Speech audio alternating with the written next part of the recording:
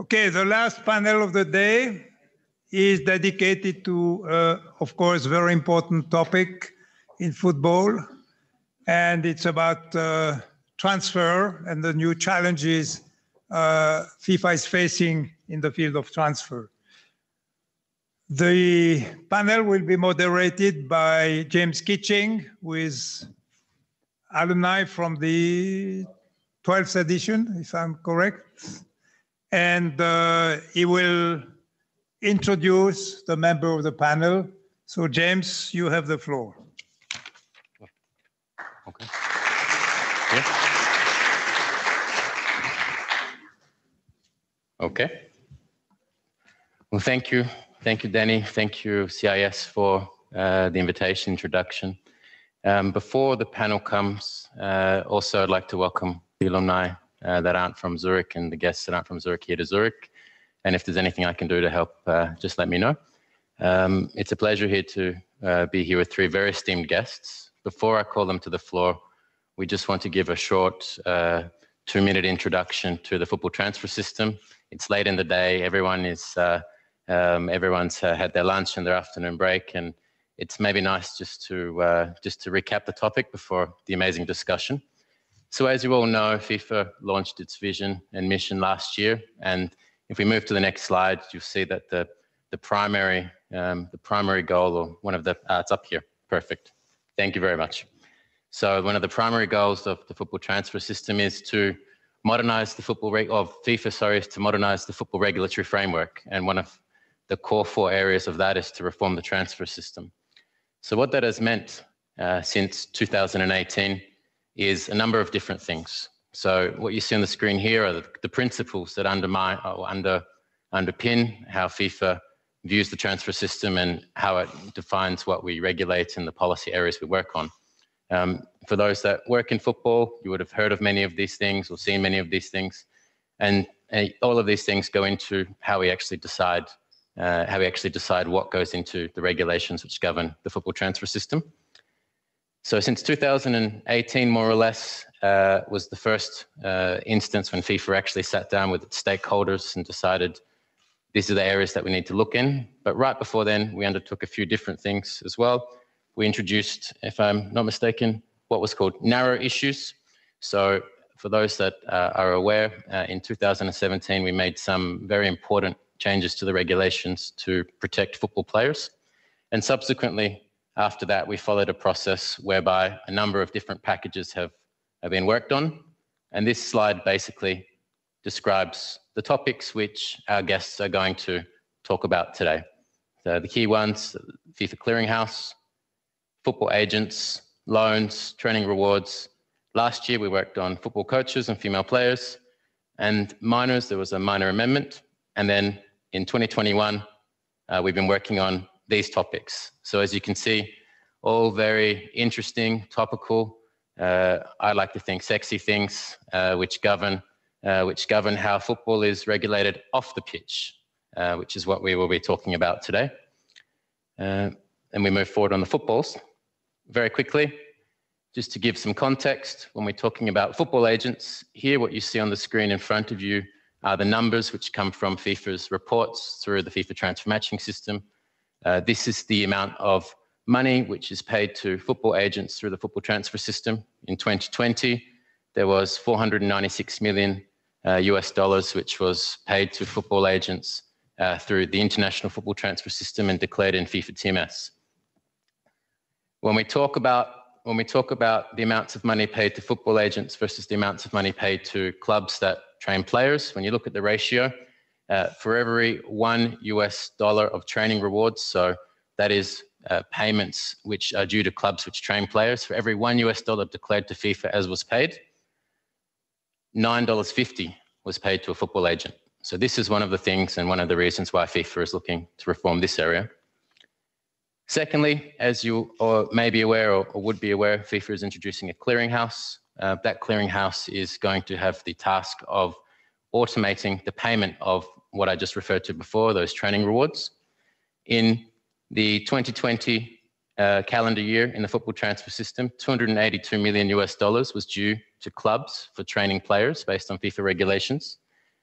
And as was declared to us, only approximately 50 million was actually paid. So there's a 230 million dollar gap there, which the clearinghouse is seeking to fix when it comes into, into fruition.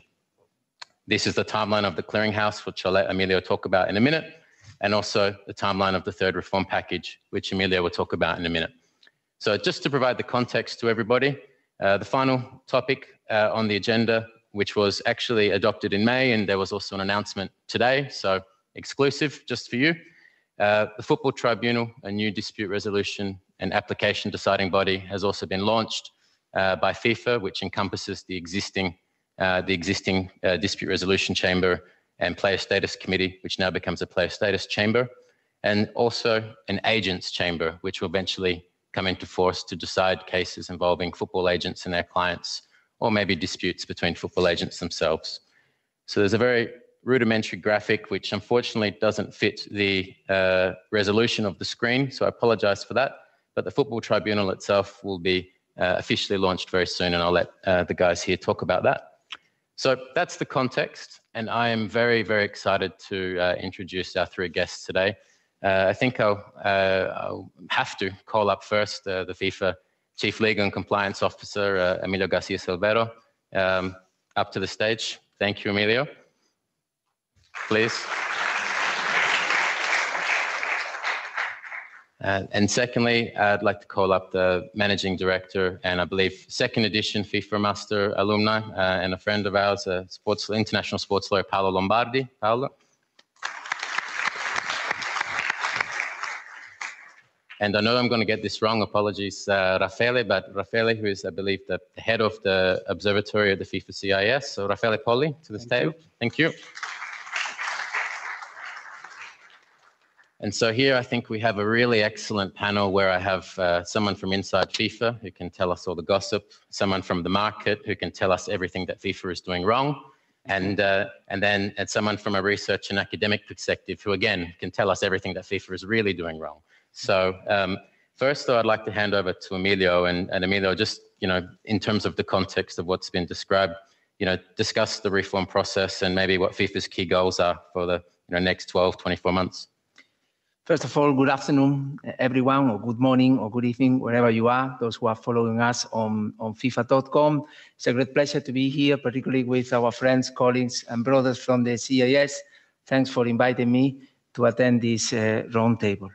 Well, the transfer reform process or system is, is something that, as you just explained, we started in October 2018, following the constitution of the FIFA Football Stakeholders Committee, um, it's a complex process, but very exciting, I have to admit. So um, I tend to say that uh, you can divide uh, FIFA uh, timeline over the last 30 years uh, when it comes to the transfer regulations, the transfer system in three different packages. The, the first one is what I call imposition. So, you know, we had a, a, a ring and we tried to govern all with our ring. So, you know, we think about the rules, we refer the rules to our committees, and we impose the rules. This was the system until 2001. Uh, in 2001, as you probably know, uh, FIFA reached an agreement with the European Commission and the system changed. Uh, from 2001 until 2015, 2016, the system is based or was based on collaboration. So FIFA was more open, uh, trying to engage with the so-called football stakeholders, but in the end, we retain the final decision. As from the constitution in 2016 of the Football Stakeholders Committee and the whole reforms transfer system, right now, we are more close to a CBA, collective bargain, bargaining agreement system, rather than other things. So, you know, if we want to modify, to change, to amend something, we are always with our football stakeholders, with the clubs, with the leagues, uh, uh, with the member associations and the confederations. And this is the system. That's why, you know, we started in 2018. It's challenging because it's not just applying your, your, the, the, the power of your ring. It's a collaboration system, but I think that we have made a lot of progress since then you briefly de described uh, some of these proposals, the clearinghouse, agents, uh, narrow issues. So we are more or less comfortably satisfied with the outcome, but uh, there are still much to do. Uh, uh, as you know, as we know, we are working on three, four different areas right now, minors, squad sizes, transfer windows, and the so-called financial regulations. This is the last and hopefully the final package of the transfer reform uh, uh, system, and we are moving forward. So in the next uh, six months, two months, we need to see the agent regulations in place. And at the same time, we hope that we can start operating the so-called FIFA clearinghouse. For me, these are the two key topics in the next six, 12 uh, months. Thanks, Mila. Great. And uh, Paolo, you know, someone in the, the market for such a long time. First, you worked at FIFA, and then, you know, you've gone to the market. You've worked with, uh, I think, what Emilio called the ring, and then also uh, the next step, and then and then now you see this step since yeah. we started the transfer reform at FIFA. What, what for you has been the impact from a practical perspective for, for your clients, for you as a, a lawyer, and, and, and for the market itself? Well, um, there's been a lot of um, adjustment to for for our clients. We work mainly with clubs um, across Europe and, and outside, and I would say that uh, um, they needed a lot of um, hand holding when it comes to um, becoming uh, familiar with uh, with with the changes. I um I would like to also mention that uh, Emilio presented uh, these changes at our Edinburgh Sports Conference uh, two years ago in uh, in uh, in Edinburgh. yeah, and mm, just to give you a couple of examples, I would say in the last year or so, one of the things that one of the reforms, the changes that has impacted our work most is this the um, system of the so-called FIFA proposals. The fact that in order to accelerate the pr proceedings that uh, you know were stockpiling or uh, you know they were piling up uh, on uh, my former colleagues' desks, the the system that allows the FIFA administration to, uh, in certain circumstances of of contractual clarity, uh, to issue a proposal which becomes binding if it's not uh, challenged. That has had an impact on, on our work. And I'd like to remember specifically one case that we had in which there was a proposal concerning uh, training compensation. And um, this became uh, binding upon the parties because one of the parties did not engage with the process. So did not reject, did not request the opening of regular uh, ordinary proceedings. Um, this was later on challenged by this party and um, they went to CAS. This was the first case um, in which I was um, fortunate enough to be on the same side as uh, as uh, as FIFA and uh, uh Miguel Liétard and his uh, team did a terrific job and um, well we won the case uh, for ourselves and for FIFA so you're welcome and uh, CAS send, send, the invoice and this is, this is, part of the training compensation that you owe us no? yeah, exactly. for the years that you spent here absolutely so, so absolutely. I'm just the debt is settled exactly. Just giving back. Just giving back. And um, no, CAS, uh, we. I thought this was a very important decision because CAS confirmed in, and what you can say it was an unprecedented decision, um, that the system works. Uh, there were some adjustments, and FIFA did adjust to uh, some glitches in, in the system. And in the latest um, well, the one before this one, um, the, the latest version of the regulations, this, this bug was fixed. Uh, and now the system works pretty well, not only for training compensation and solidarity contribution, but also for uh, the so-called uh, player status cases, transfer related cases. So if there's a prima facie clarity, if there's, if there's prima facie contractual uh, clarity, then uh, of course they um, uh, the administration can issue uh, um, proposals that uh, become binding. The other issue, again, with um, uh, solidarity contribution is the application of it in, in uh, at domestic level. And the fact that the interplay with domestic uh, regulations, for example, in Italy, one of the most common uh, uh, ways of transferring players is uh, loan with compulsory purchase option, so to speak. And um, in that case, too, FIFA um, issued recently a decision uh, in relation to the fact that um, because the option was compulsory upon a certain condition occurring, and this condition occurred prior to the uh, new domestic solidarity contribution system coming into force on the 1st of July, then uh, solidarity did not apply to that specific transfer, which applied prior to that. Um, although ultimately the purchase option would, the, the, the, the, permanent registration took only place in September 2020. I could also mention the, the new way of calculating uh, uh, training compensation on a calendar year basis as opposed to uh, 1st of July to 30th of June and, uh, and a number, a number of those. But uh, it's, it's uh, this, this in a nutshell is what what um, I would like to mention uh, the, the, that had a significant impact in the last 12 months of of uh, you know being a foot soldier in uh, in the, in transfer market arena. Great. Didn't sound negative to me, so we're doing a good job. So uh, thanks, Paolo. And Raffaele is, uh, you know, an academic researcher and observer looking at what we're doing from a completely different perspective from us.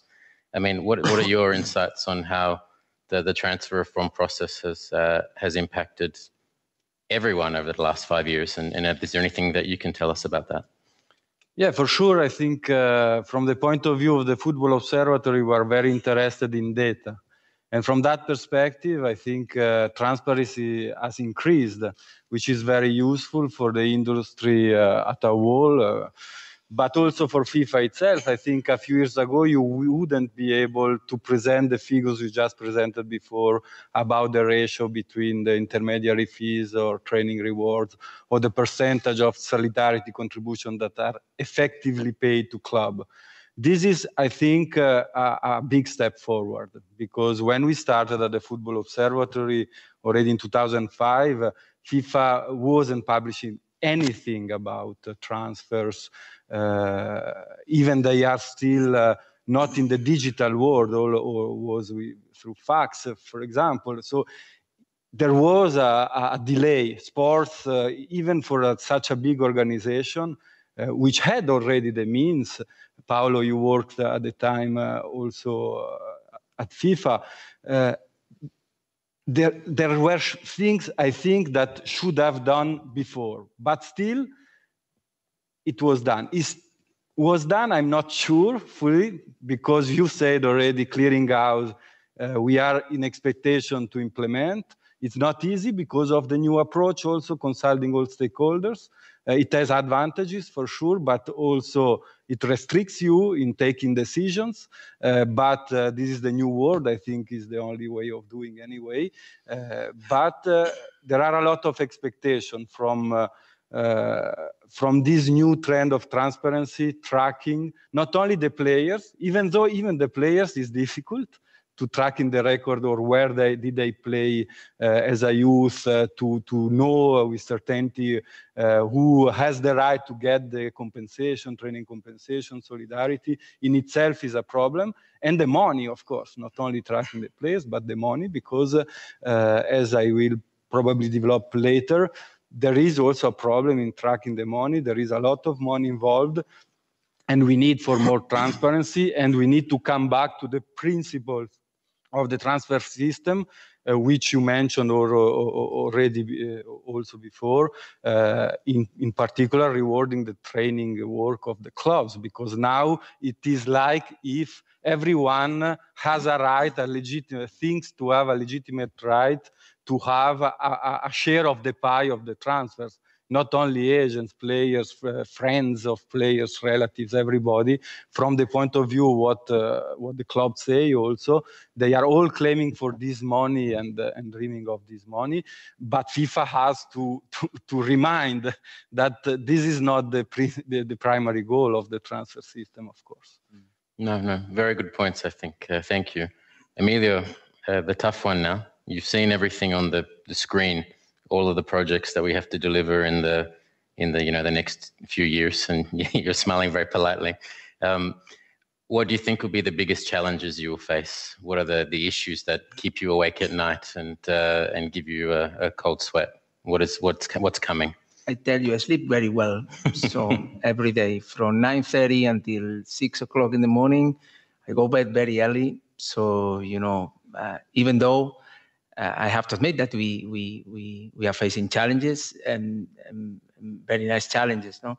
But I think that uh, Rafael is right. One of the key challenge for us in the future will be to clean the transfer system, and that's the main goal of the FIFA clearinghouse, and that's why we are launching these projects, because we we we need to put the money into the machine and we need to clean the, the, the whole transfer system. So with the clearinghouse first, we are going to guarantee that the money is finally distributed. So training compensation and solidarity will end up in the hands of the right individuals, right clubs. That's the most important thing, one of the fundamental aspects of the clearinghouse. And of course, the second aspect, vital aspect of the project is cleaning slash compliance.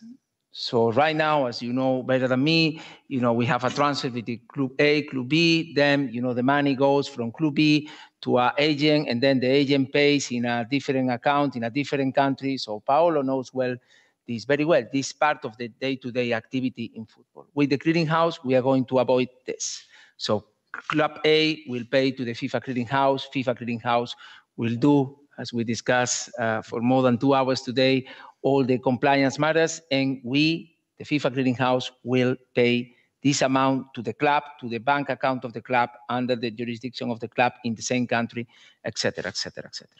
So again, for me, the first uh, big challenge that uh, we will face in the next six, 12 months is start operating the FIFA clearinghouse. That is a big project from different angles. No, so it's not only what you mentioned again.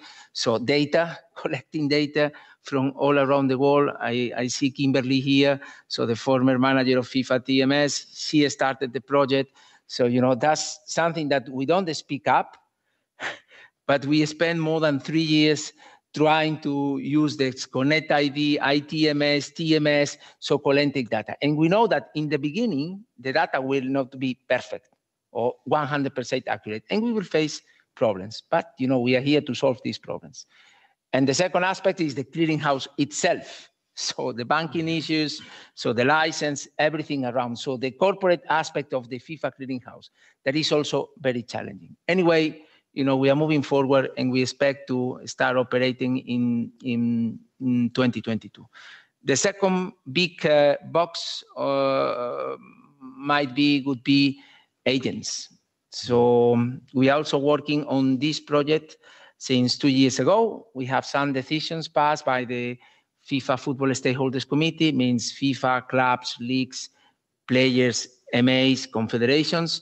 We also have decisions passed by the FIFA Council with some principles, and now we are in the last phase of implementing these decisions.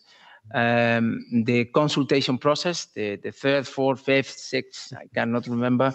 So consultation process with MAs, with agents, with confederations, with clubs.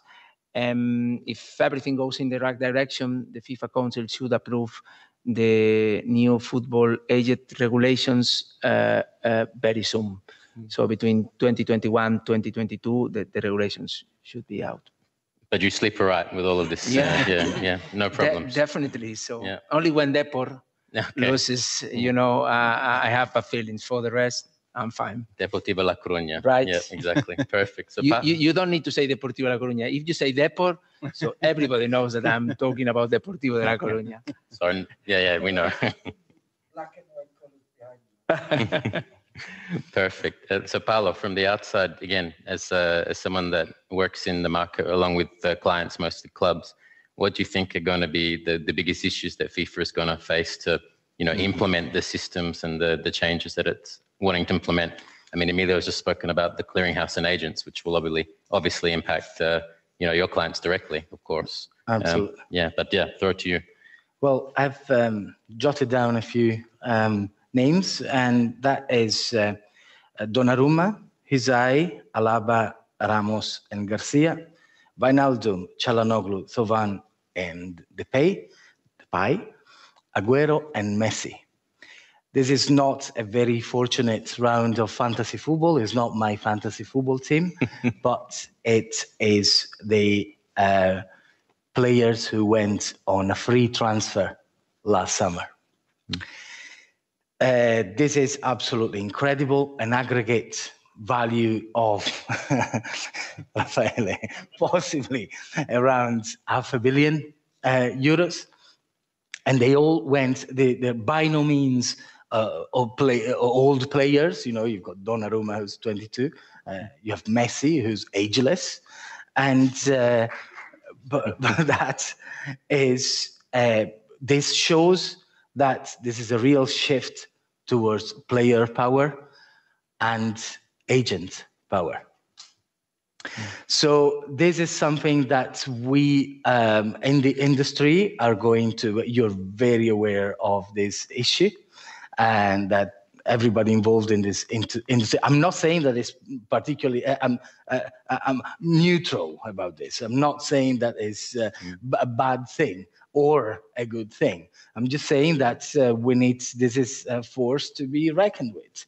Uh, the fact that um, this might impact uh, the uh, industry in a way that uh, we might not necessarily uh, expect at the moment.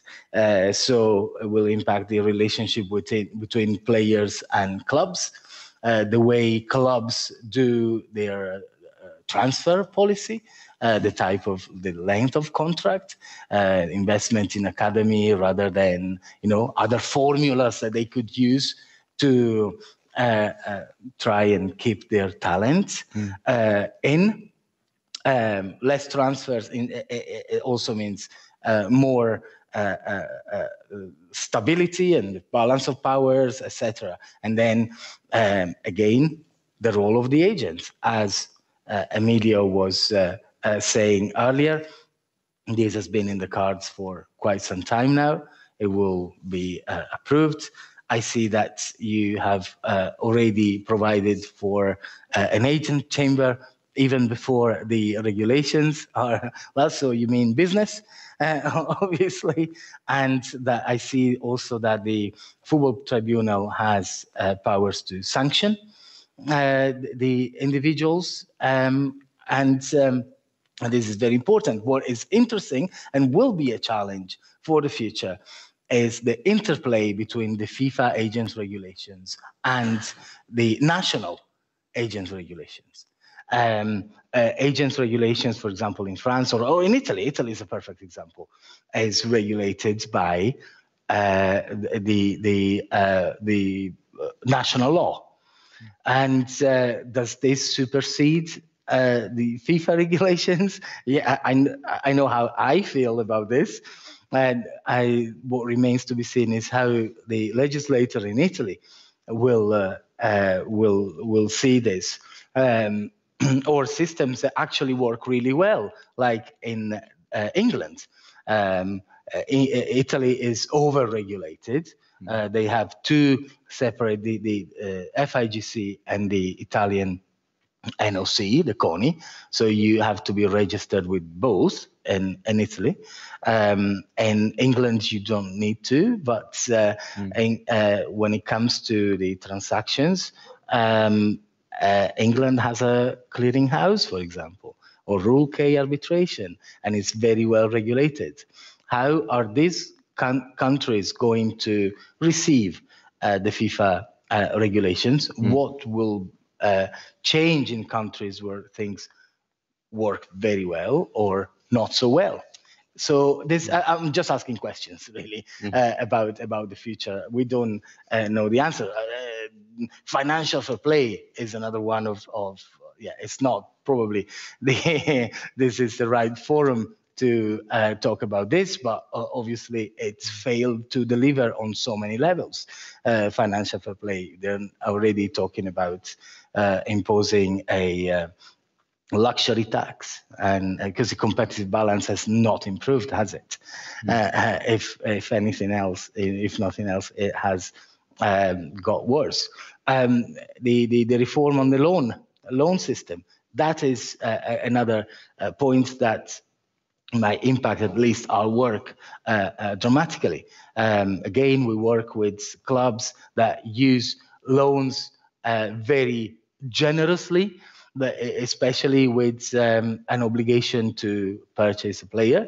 Um, what, how is the um, possible potential prohibition uh, uh, on on uh, above a certain number of loans going to impact.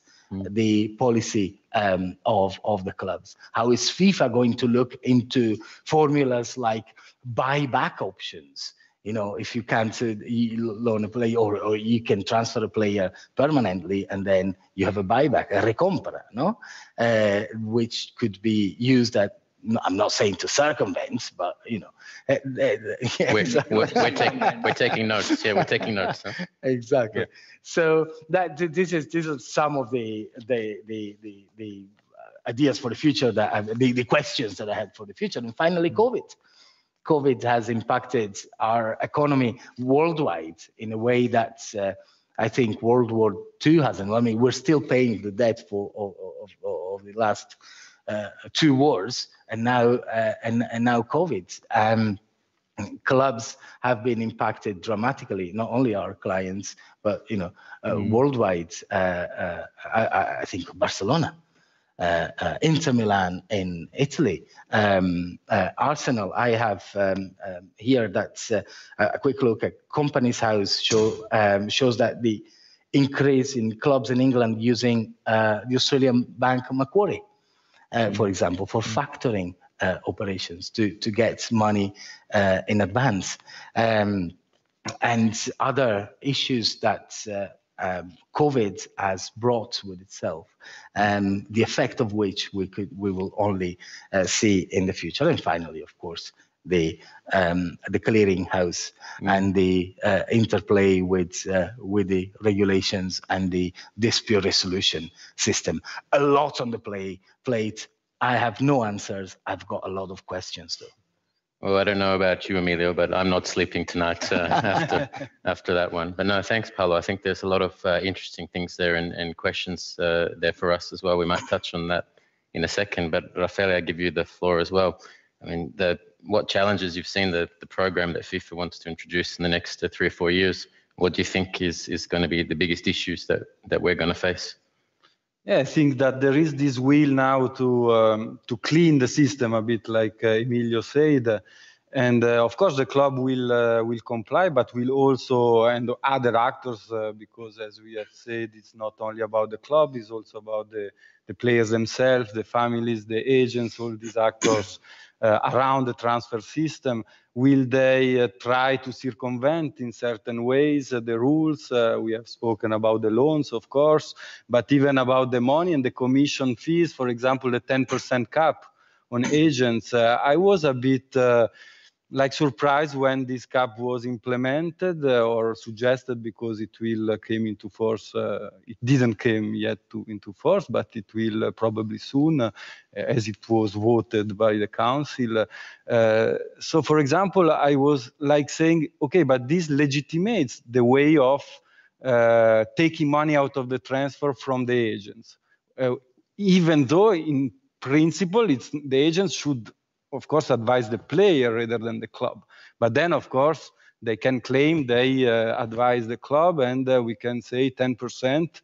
It's already a lot. But then I spoke to football officials, and they say that for us is, is a good is a good uh, measure because at least we can say them it's only 10%. because now they ask even more in many cases. So you see the difficulty. If there is this mentality for an agent or even for a player on a personal basis, it's family to say, okay, but uh, I want uh, 50%.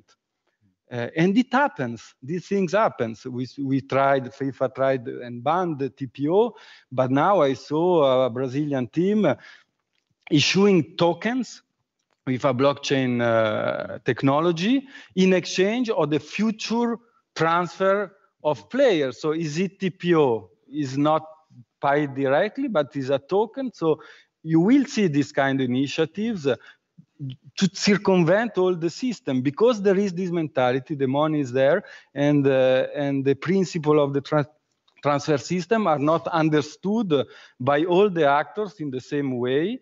And uh, now, uh, of course, they, they, they earn a lot of money. We have seen the figures. We speak about agents, but are not only agents uh, in the market, for sure. Uh, will they comply that easily and say, okay, we are happy now with the 10%? Or I'm not sure. So they will try to uh, to find other ways, and for that, the, the, I think there will be a, a lot of of compliance to be done, monitoring uh, the, a lot of cases, but it's a very good uh, thing, for example, to have an agent chamber, I think, because, uh, okay, we can say the agents sometimes they take advantage of the system in an undue, undue, in, in, they are also involved in not very clean operation, etc. But at the same time, they play a role, they are, they are there. And many of them, especially the small ones, struggle sometimes to be recognized also for their work by their players or the clubs or bigger agents also uh, not uh, respecting uh, their, their own role. So uh, from that perspective, I think uh, there will be that the challenge will be that I think there will be many cases, many disputes but because the system is not working properly. But at the same time, it's a good challenge because it is the role again of FIFA to, to, to have an idea and FIFA will give himself the means to know more what happening, what happens in the market. And Emilio said probably he, he hopes the last uh, last uh, measure uh, in, in this package of reforms but uh, all is evolving so fast also with the new technologies uh, etc i am sure that uh, we will speak again about new reforms in a few years. Not because perhaps these ones were not well conceived. It's just because things change and then you discover you find out ways of circumventing and you will be obliged always to mm. to innovate to find new solution and this uh, I, I expect this kind of development no, grazie, Raffaele. And this is the fun part where these guys don't actually know the next questions that I'm going to ask. So, Raffaele, you actually touched on something that I wanted to ask you. Um, cryptocurrency, tokens, NFTs. We're starting to see them now come into uh, come into football. What is your prediction for the future uh, for these types of, as you just described, new technologies? Yeah, in, in terms of player transfer, it's already a reality. Fluminense uh, issued these tokens to, to deal with new transfers. So, of course, if you don't say to stop it directly and to say this is illegal, then others will follow because there is a lot of interest, especially by the young generation. Again, uh, there are a lot of investment. We have seen for Messi also the transfer uh, was uh, was partially financed with, uh, with a cryptocurrency. The cryptocurrencies are now uh, sponsoring more and more clubs. They have clearly identified football as a good vehicle uh, for for promoting themselves and of course uh, to uh, to create a new business and I'm sure they will uh, there will be an appetite because uh, there is real money uh, behind the transfer and all of this to enter this market, and they are slowly by slowly associating themselves to clubs already. Uh, entering the market, and of course, this will be uh, also a, an issue to be de- to be dealt because uh, mm. it won't stop like this. On the contrary, I see more kind of development, association of uh, the cryptocurrency business and the, the, the, transfer market. And beyond, of course, it can be TV rights, other, other receivables of the clubs converted in cryptocurrencies with a certain exchange rate, etc. So it's for sure a, a, hot topic also, I think. I'm sure we'll be talking about it again uh, in a few years, next year, next week. Indeed.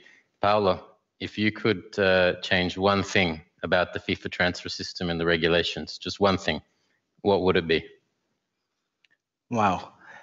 Um, that, so, solo uno, one thing. Solo una, mm. that thing, exactly. How much time do I have? um, that slide about the uh, balance between uh, the gap between uh, agent fees and uh, um, uh, training uh, rewards. Interesting. Okay. And Emilio, I actually open the floor to you. last words. Do you have anything else to say about the transfer system or or the direction we're looking at going into the future? No, nothing else. I think that we have already mm. explained more or less the basis of, of the system. Um, just expect that we we all work together with the clubs, with the leagues, with the confederations, and we can finish this third reform package, final and third.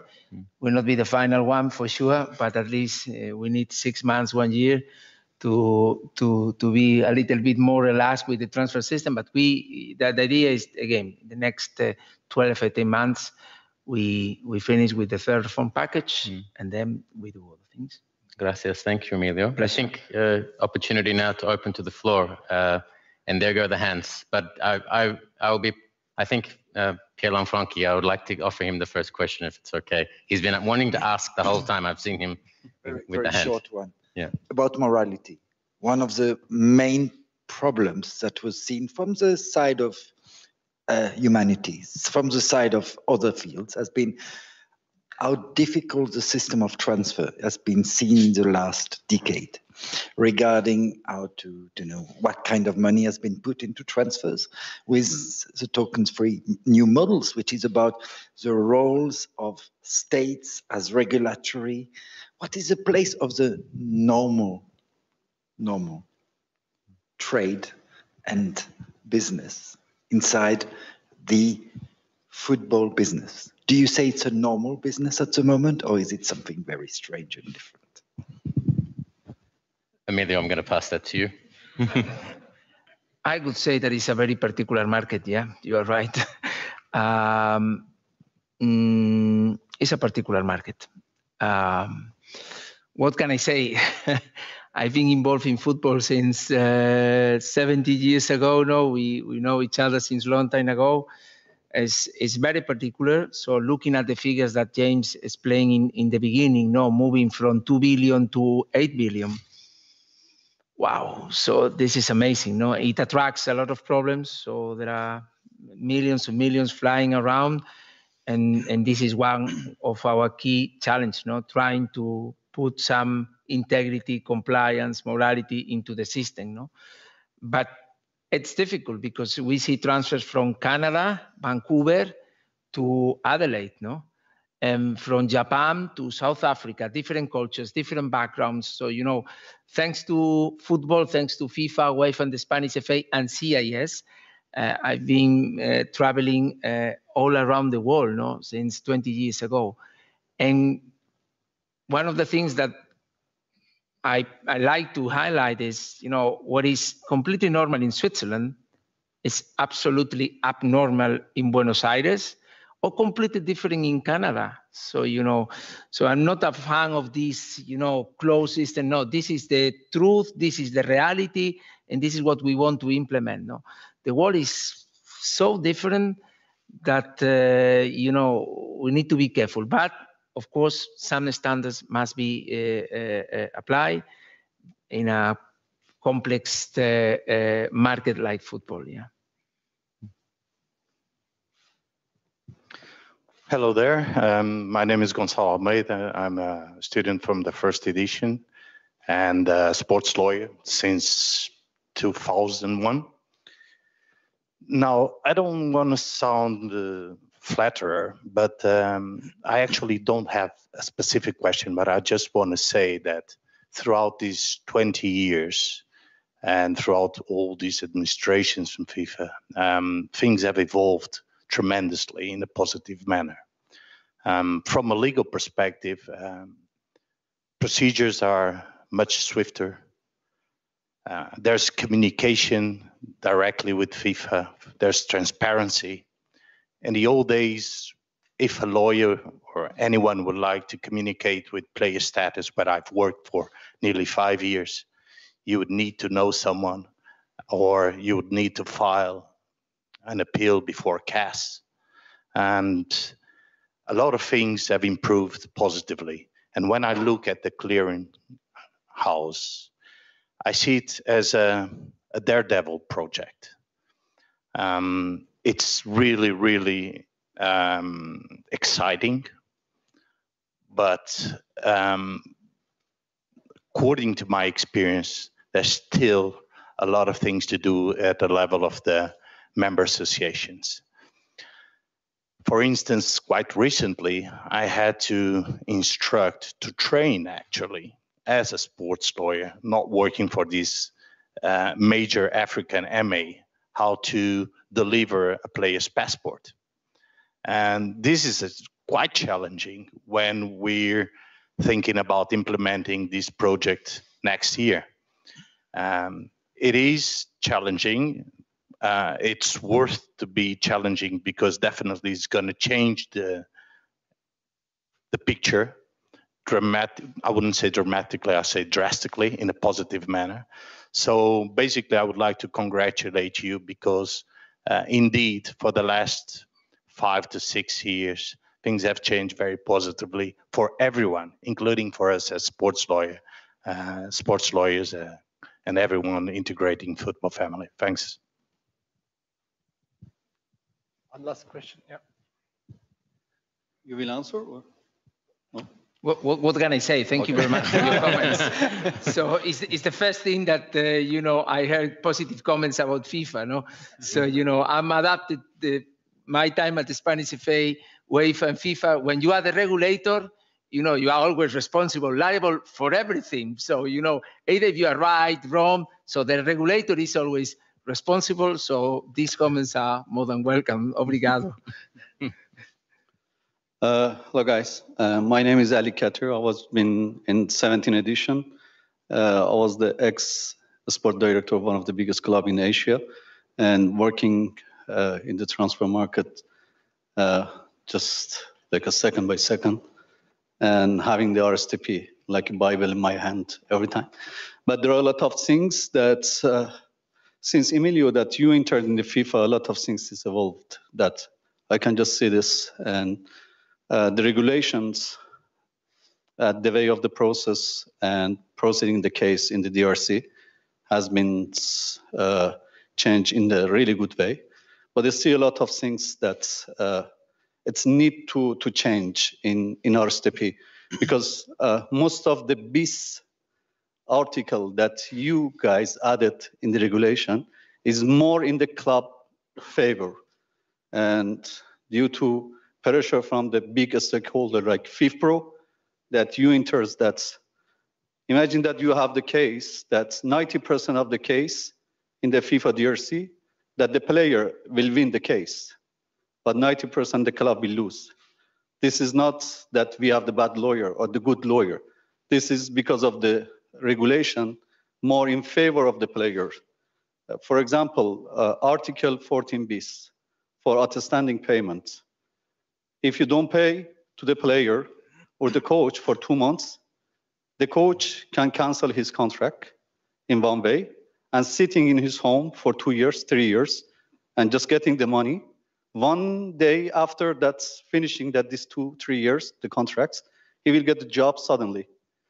He never tried to get a job due to support of the regulation of the FIFA. But this killing the club, especially in my country like Iran, that you know that we had a lot of cases. James know this because he sometimes works with lots of the case in Iran. That's and due to this kind of the regulation, the club in the countries like Iran, like Turkey, that they will die very soon, because you know that's sometimes they know the regulations, Sometimes they cannot transfer the money to the coach because I will just give the example. Uh, in Iran, we cannot uh, transfer the money uh, legally to the client outside the country. And okay, we just put the clause in the in the contracts. The player, the coach will accept the cash. The coach came in the country. Two three months he accept the cash, and suddenly after two three months he just had arguments with the with the club manager. He never accept the cash. We cannot force the guy giving the cash to the coach. Please accept this. He will not get it. Just send him my account. We cannot send this account. After two months, he will cancel his contracts. He will get for three, four years money. When FIFA will give award very easily. Without even, you know, that's no defense, no any defense will be accepted by FIFA DRC judge. This kind of the problem that we have in, in our country and also in other countries. And we should just think, Emilio, for, for this kind of the BIS article that you added. I know that due to pressure from the FIFPro, a strong stakeholder, that you put it, okay, just only copy paste the Swiss law only in the in the FIFA regulation. This doesn't help the football.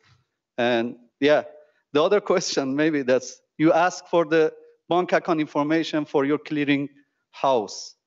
But in Iran, no club can open official bank account how they can just, you know, that's get their training compensation. They started the payments for that because this is obligatory. Every club, they should just have bank account information with the name of the club. And we have this kind of the problem. Thank you very much. Thanks. Thanks for the two questions. I think that they are very, very interesting. Um, I'm very well aware of the situation in Iran. Fortunately, unfortunately, I'm also the chief compliance officer of FIFA, and we are facing a lot of problems with your country due to what we know. Um, and, and you are right, this is a very challenging issue for a company, an association like FIFA, no? because we are developing football, and you cannot believe what I can tell you concerning Iran or North Korea. So just sending balls or even CDs or you know it's it's really critical but of course there are some rules that uh, uh, we have to comply with and, and we need to be careful but yeah i'm, I'm aware of this situation uh, when it comes to the first question what can i say uh, as i mentioned before uh, the rstp is not uh, for me these are not regulations anymore. So this this is a pure cba a collective bargaining agreement. So this is the outcome of the discussions between clubs, European clubs, South American clubs, African clubs, leagues coming from all around the world, MAs, confederations, FIFPro, obviously, and FIFA. So it's not FIFA deciding, well, you know, we would like to uh, uh, balance this in favor of players. So this was a consensus decision taken by all these clubs. In any case, I tell you, this is not the Swiss system. So if you go to my country, your country, your country, your country, so you know, I think, and we have Rafael Poli, and we can uh, ask him to prepare for free uh, evaluation of this uh, data. So in all jurisdictions all across the world, employees have more rights, have more chances to win the case in a labor court than the employer. So it's not the FIFA system or the Swiss system. I think that is all around the world. So I've been a, a lawyer for a quite time, for, for time in Spain uh, on employment matters. And, you know, if you are going, my first case was representing the employer. I don't need to tell you the outcome. so, you know, so that's that's not the you know, so, you know even though the employer has a fantastic lawyer, so you know uh, I'm very sorry. So, and it, this is not the Swiss system. This is the reality. And again, the, the, the new Article 14 bis is the outcome of, uh, of uh, decision of the groups and is there. So it's not trying to help players or clubs. It's trying to put a little bit of order within the system. That's all. But, you know, both points are very, very interesting. So thank you very much. And the second, sorry, the bank account registration. I told you in the beginning, yeah, I know that this is challenging in, in Iran, but it's not only in Iran. So we will be facing this situation in South America, in some countries. So we are in contact with the South American Federation uh, associations. They, they, they, they, they can have the same problem also in Africa. So we are working on it uh, in the context of the clearinghouse. Uh, but we are well aware of this, that, you know, Real Madrid or Manchester United, you know, these are big clubs, uh, but, uh, you know, a small club in Uruguay or a big club in Iran can have problems with this. So we are working on it, even though we have different opinions about how to solve this. Uh, uh, we will find a solution. Thanks, uh, thanks, Emilio. I think uh, our time has finished now. So, firstly, I would like everyone to say thank you to our guests. So, thanks, Emilio, Paolo, Rafael. Mm. We've, and we've we've taken all our notes on the FIFA side, and we'll go back and throw them all into the mix. So, thank you very much. And I think I pass back to uh, to Denny. So, thank you, thank you, everybody.